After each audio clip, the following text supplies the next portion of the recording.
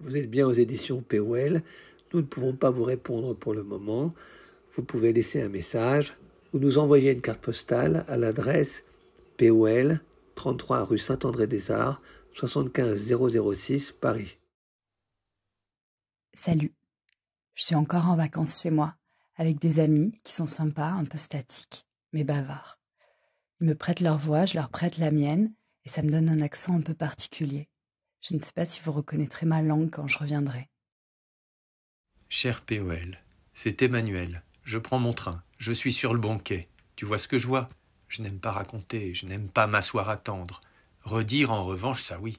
Déchiffrer, quelle merveille, hein Répéter après toi. J'ai commencé comme ça, en refaisant parler.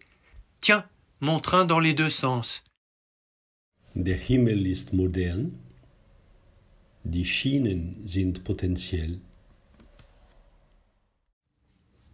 Au train où vont les choses est une photo de Gérard Dufresne prise entre Valence et Paris. Devant elle, je reste immobile, en tout cas tant que je dispose d'une page à remplir de mots. Hier il faisait beau. Je me suis assis sur ce banc que j'aime bien, près des tennis euh, abandonnés. C'est là que je me suis dessiné, enfin j'ai dessiné mes pieds et mes jambes, uniquement ce que je vois de moi en réalité. Et euh, je me suis dit, euh, ben, c'est un beau jour pour mourir, euh, une fois de plus. je me le dis chaque jour. Et hier, je me suis dit que peut-être le jour où je ne me le dirai plus, c'est là que la mort viendra. C'est elle que j'aime. C'est eux que j'aime. C'est vous que j'aime. C'est elle que j'aime. C'est toi que j'aime. C'est eux que j'aime. C'est nous que j'aime. C'est vous que j'aime. C'est elle que j'aime. C'est eux que j'aime. C'est vous que j'aime. C'est toi que j'aime. C'est nous que j'aime. C'est elle que j'aime. C'est eux que j'aime. C'est vous que j'aime. C'est toi que j'aime. Je reste assise dans la chaleur, au milieu des trois cartons un peu défoncés par le transport, qu'il faudrait que je commence à vider. Je sais déjà. Des photos, quelques livres, des dossiers sans titre, des babioles enveloppées dans du papier bulle. Bouts de mémoire sans suite qui passeront d'un exil à l'autre au fond d'un placard.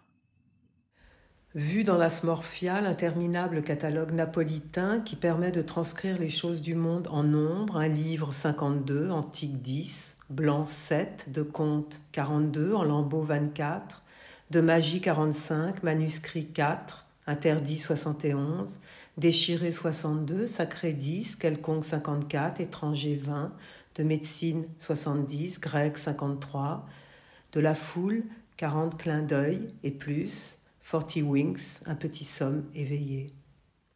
C'est pour vous, un petit bout du boulevard de Clichy, très exactement à mi-chemin entre nous. À part ça, le Sacré-Cœur est toujours à la même place et le métro aussi. La cigale, la fourmi et la fontaine qui est sur la place n'ont pas bougé non plus. Et il y a aussi les marchands de souvenirs. Tenir bon pendant que ça vole, c'est l'image et c'est le projet. Ça, le fardeau, les idées, les débuts, les pages, les fragments, les années. Tenir bon, les bras levés dans le rythme tout en marquant le pas. Tenir bon, porter ce qui veut se soulever, s'élancer, sauter, monter, échapper à la gravitation, et qui soudain s'envole. L'oiseau, le cœur, la phrase. Pourquoi donc y a-t-il les temps et non pas plutôt rien Disons-nous souvent, avant de nous baigner et d'oublier la métaphysique? Cette année, l'étang est d'ailleurs presque réduit à rien, et les fougères de la forêt sont toutes brûlées. Juillet 2022. J'ai les mains qui puent. Ici, elles ne servent qu'au pire. Difficile de croire qu'un jour elles ont su écrire. Paris me manque.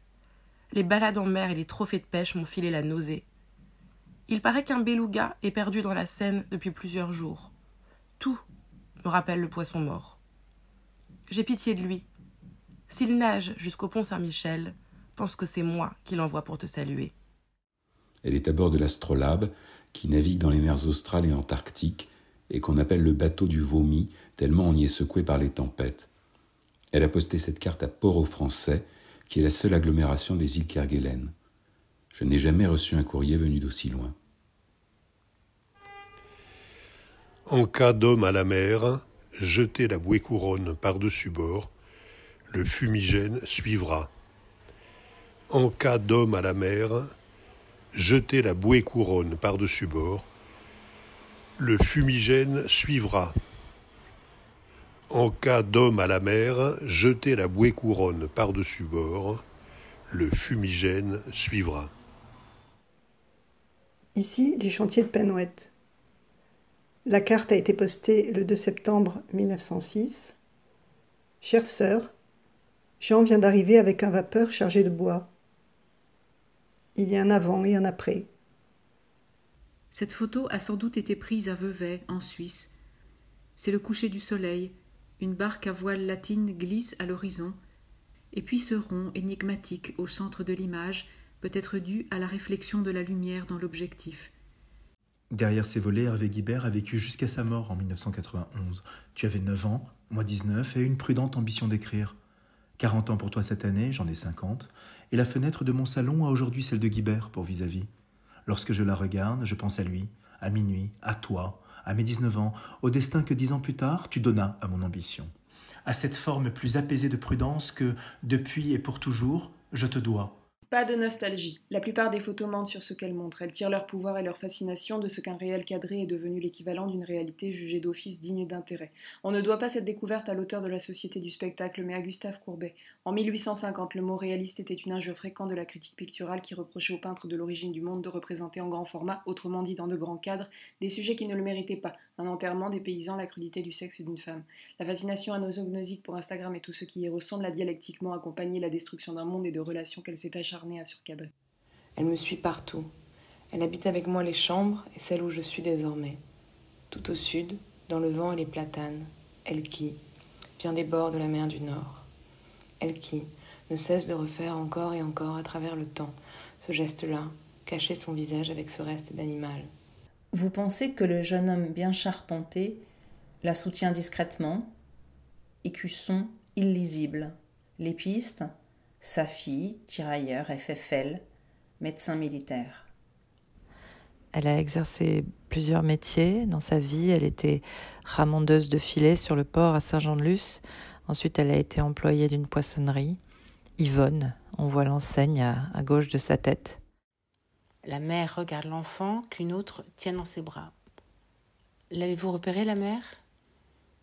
Je suis retournée cet été dans ce village. J'ai abordé un, vieil homme, pressentant qu'il pourrait me parler de mon arrière-grand-mère. Et quand il m'a dit son nom, ça m'a plu son nom, Georges Moral. J'étais précisément en train de regarder le portrait de Mehmet II par Bellini. Non pas le grand Giovanni, mais son frère Gentile, qui fit le voyage de Venise à Istanbul en 1480 pour faire le portrait du sultan.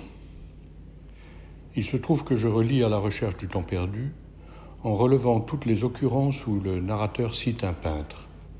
Charles Swann, qui avait la manie de chercher à chacun des ressemblances avec les portraits des musées, trouvait que Bloch ressemblait à Mehmet, les mêmes sourcils circonflexes, le même nez recourbé, les mêmes pommettes saillantes.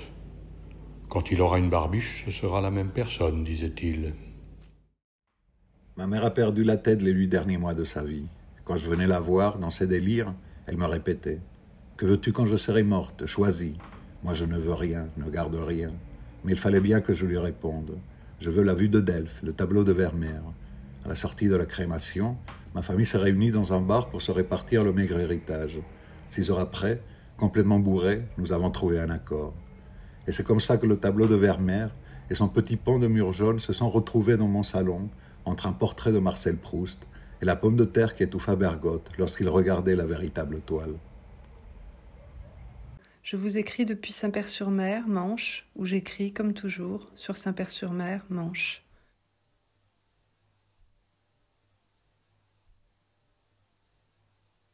Impossible de savoir s'il est passé à Marseille.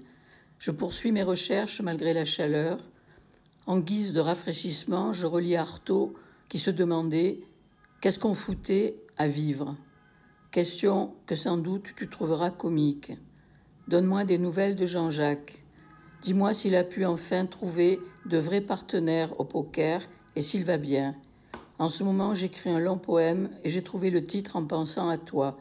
Je me demande si c'est un bon titre. Tu me diras. En attendant, je suis tes conseils. N'écoutez personne. Nous sommes à la maison, à quelques minutes de tout.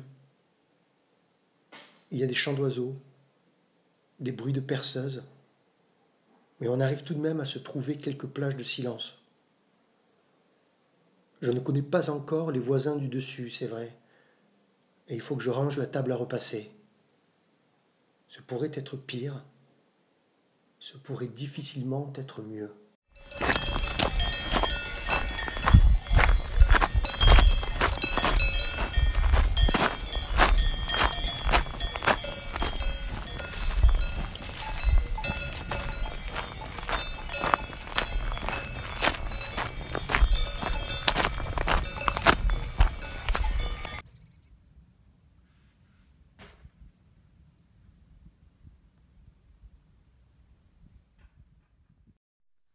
J'aime bien que les paysages coulent et s'effacent juste un peu pour laisser la place à d'autres de les traverser, de s'en emparer, de disparaître à l'intérieur.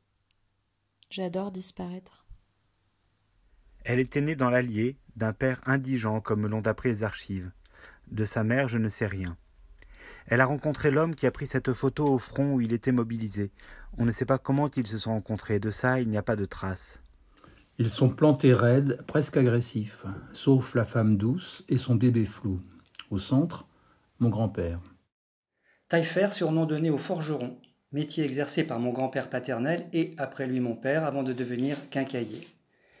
Taillefer, au sommet duquel trône, veillant sur nous peut-être, une statue de Saint Éloi, le patron des forgerons.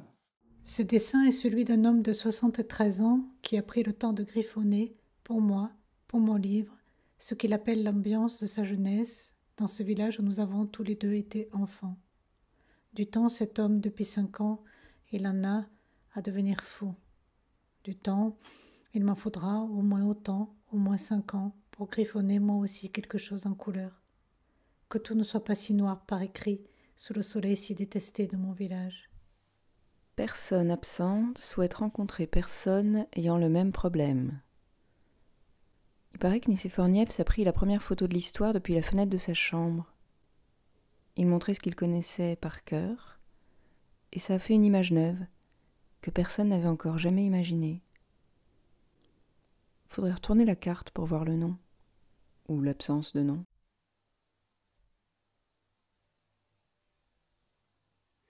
Et si j'étais le monsieur Jourdain de la lâcheté? Et si la lâcheté, en amour, était une prose que je pratiquais sans le savoir? Je n'arrête pas d'y penser. Monsieur Paul, la langue de bois, ça n'a jamais été mon truc. Était-il nécessaire d'encourager mon petit-fils dans son dévergondage en publiant cette somme de sexe, sexe, sexe? Une lettre de refus lui aurait peut-être permis de changer de sujet. Il y a des choses qui se disent mais qu'on n'écrit pas dans un livre de littérature. D'autre part, les serveurs ratent toujours la photo de table quand on la leur demande, pour la simple et bonne raison qu'ils sont serveurs, et non photographes. À bon entendeur, une grand-mère en colère. Cher POL, cher Frédéric, Jean-Paul, Vibeke, Anthony, Victoire et Shannon, ainsi que mes chers stagiaires euh, Gwendoline, Marilyn, Eva, Cindy, Justine et Zygmunt, voici Sorbonne. Elle est ce que je pouvais t'envoyer de mieux pour tes 40 ans. Nicolas Fargue et Jean Rollin ont insisté avec une certaine lourdeur, je t'avoue, pour que je me mette à écrire sur elle. Bon, on verra. Elle est en tout cas fidèle, amicale, rigolote et propre. Toutes les qualités que l'on demande aux auteurs de cette maison. Elle ne perd pas ses poils. Tout le monde ne peut pas en dire autant, enfin Santiago Amigorena peut-être, et encore. Bref, à tous nos poils perdus et à ceux à venir, mille bisous. Gégène écrit à Charlie et espère que ça se passe bien dans son blocos. Il lui dit qu'à Tain-Saint-Père, ça commence à patauger et que Tatave numéro 2 a retrouvé ses êtres. Puis il embrasse goulûment son fiston. Lulu met la photo de Nono sous le carreau de la table du salon. Il est devenu para, il a un béret vert et il n'a pas le droit de sourire. Et tante Marthe a la même photo, mais sur une boîte d'allumettes vide. Gemma Rose, در باغ کودکیت میرخسم بیرون از مکان بیرون از زمان چرا به من نمینگری بسان پدرت و یا مادرت و دیگران در تجلیل جنبش مستانه جانم Fais ce mouvement de prose, fais le monde, sport complet, bleu rayé à quel instant doublé, le ralenti, la mélodie. Maintenant la nuit est tombée sur le boulevard. Le dernier couple assis à la terrasse du café n'en finit pas de s'embrasser dans la pénombre, tandis que sur le côté, un serveur immobile attend patiemment, mélancoliquement, comme perdu dans une contemplation silencieuse, pourquoi un tel recueillement d'ailleurs? Qu'est-ce qu'on peut faire un jour comme aujourd'hui? Je vais tendre un canevas sur un châssis et refaire apparaître Eddie Constantine, alias Lemmy Caution, debout, face à la grande excavatrice. Musique de mariage à Alger.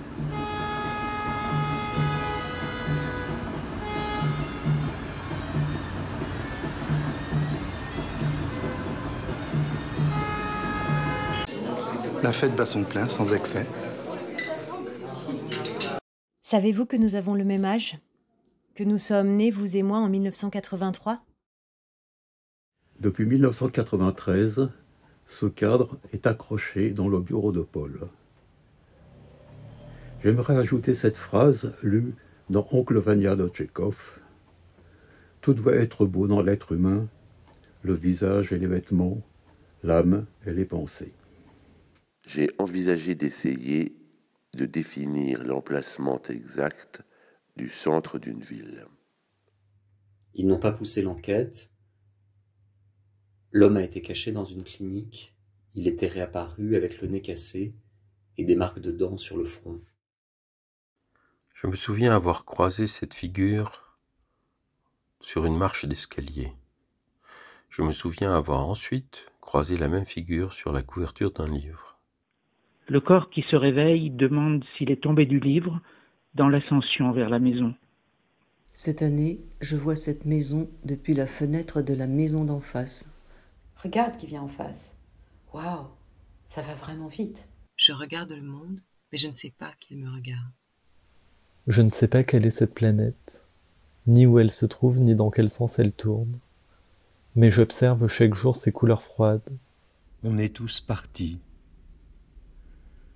Certains sont revenus plus tard, mais globalement il n'y avait plus rien à voir. Voilà une image volée d'un des films que Paul a tant aimé. Je t'avais volé une chaussette et je te ressorti dans la rue du Perret, certaine que je ne te reverrai jamais. Jamais vous n'auriez imaginé que ce soit si joyeux. Même la fromagerie nationale a dû fermer boutique, faute d'encre pour refaire sa devanture. Juste 26 lettres qui font la samba, quelques signes typos, et hop, avec ça, combien de milliards de récits possibles Je vous écris depuis l'espace entre l'immobilité et le mouvement. 今日お送りするのはいつも本を書く前に眺める写真です戦後すぐに東京で撮られたもので私の祖父もそこにいて笑っています 彼ら編集者を前にして私たち作家は言うのですいい物語を見つけたから待っててください書きますからって A loves B who is married to C with whom she has a little girl but who is having an affair with D Happy he who has seen the day break on the bridge of Besançon. Imagine you're young, poor, and sinister. Two children meet when visiting a prehistoric cave. Orgies with the pretty philosophy teacher. Most zombies love their family as much as we all do. One day, it seemed impossible for me to participate in a sexual act without writing about it. He was a chief, a legend, and a conqueror, galloping over the landscape like the wind. Reçu ce matin même à mon domicile, Paris, quartier Jardin des Plantes, cette carte, postée avant-hier à Ouagadougou. Elle est signée Canary, mais je ne sais pas si par Canary je dois entendre l'oiseau, le pot de terre ou le propre surnom qui m'était donné autrefois. Merci à qui me tirera d'embarras. Il aperçut cet oiseau fabuleux dont on parle dans les légendes indiennes et qui, paraît-il, vient au monde sans pattes, de sorte qu'il ne se pose jamais. Il dort dans les grands vents, plus haut que l'œil peut voir, et on ne le voit vraiment jamais, sauf quand il meurt. Il a les ailes transparentes, plus longues que celles d'un aigle, et quand elles sont refermées, l'oiseau tiendrait dans le creux d'une main. De mon côté, toujours dans la même fructueuse galère, je n'en finis pas d'enquêter à ma manière que je ne maîtrise pas, pour découvrir je ne sais quoi dont j'ignore ce que je ferai et si c'est utile à qui que ce soit. Mais personne ne pourra dire que je ne me donne pas du mal, un joyeux mal, J'y consacre toute mon énergie et ma volonté à ce je ne sais quoi que je ne saurais pas définir, mais personne ne me demande de le faire. Quarante vermisseaux sont passés par là. Pondus en ligne droite, ils sont partis rayonnant découvrir leur monde. Mon cher Paul, ma chère Paul, je n'aime pas beaucoup les photos. Feliz complet. Kraftwerk have a name for this. It's machine music. Ich mache mir eine kleine Erleichterung.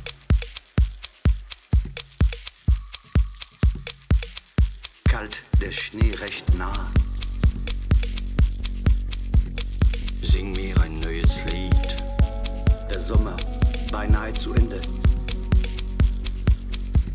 Es war einmal ein armes Kind und er hat keinen Vater und er hat keine Mutter.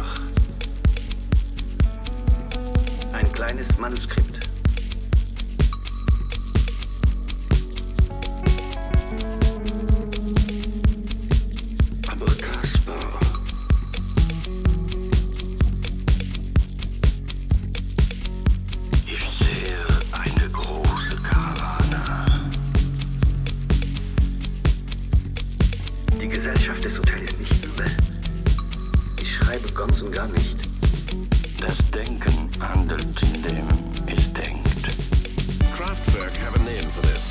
Have a name for this. It's machine music. Der Klang ist sehr schön.